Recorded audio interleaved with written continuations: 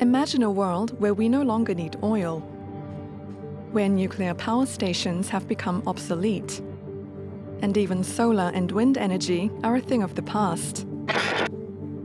This vision is on a path to becoming a reality, here at the Massachusetts Institute of Technology in the United States.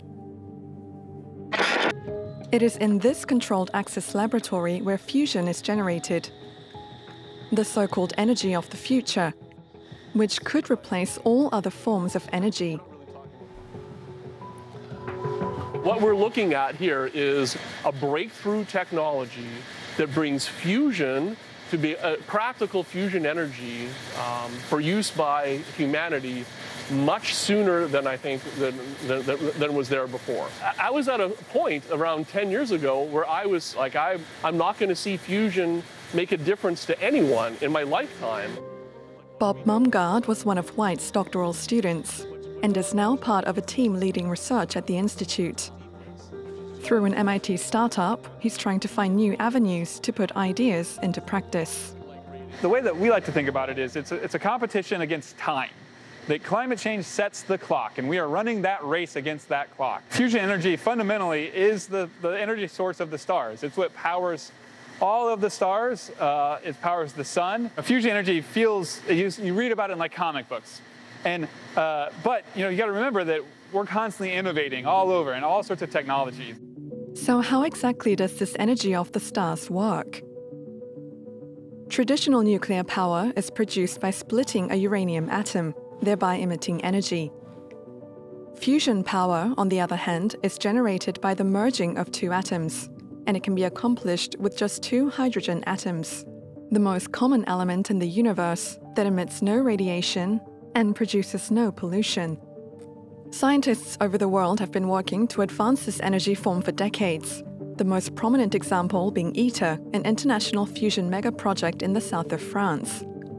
At MIT, its biggest progress in 30 years is thanks to this revolutionary magnet. This particular type of magnet is built out of an entirely new type of material, a new superconductor that, that won the Nobel Prize, actually, the material itself. It's a whole new tool, and in, when applied to fusion, means much smaller fusion machines. To make fusion useful, scientists need to trigger it in a way that yields far more energy than they put in. One way to accomplish this is by using magnets to contain the plasma, the fourth state of matter after solid, liquid and gas. It forms at millions of degrees and therefore needs to be carefully controlled, since the extreme temperature would instantly melt the surrounding infrastructures upon contact. This is where the magnets come in. So right now I'm pushing the plasma away from me and into the glass tube on the other side. And if I turn it around, it'll actually pull the plasma towards me like this. So this is the way that you hold something without physically touching it. And that's the principle of which we use, except we use the magnets which you saw in there, which can make much, much stronger magnetic field. In the race against climate change, fusion energy could be a breakthrough game changer for our global energy future. The hydrogen atoms in just several liters of water could feed entire cities, an inexhaustible clean energy that is extremely cost efficient. We can use it to make electricity, but it can also be used for many other things. Desalination, green fuels, uh, chemical processing plants, anything that uses energy. There's almost everything that we need. In the next few years, scientists and engineers are expected to develop the first fusion power plants, the size of a tennis court. Their deployment in the world could begin as early as the next decade, in the 2030s. Fake news. Noun. False stories that appear to be news, spread on the internet or using other media.